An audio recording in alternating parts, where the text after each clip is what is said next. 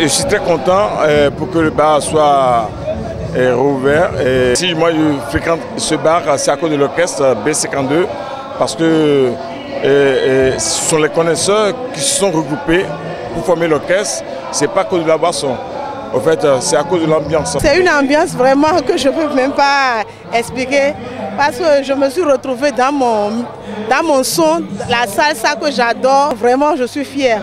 Non, le Tropical a rouvert, mais je vous jure. Je suis très content que le public ait répondu présent à notre appel. Bon, nous, on est là au service de la population. On est revenu en force pour euh, quand même toujours satisfaire notre clientèle. C'est une belle soirée, j'avoue, une très belle soirée. Je crois que les clients, les clients aussi euh, ne peuvent pas dire le contraire.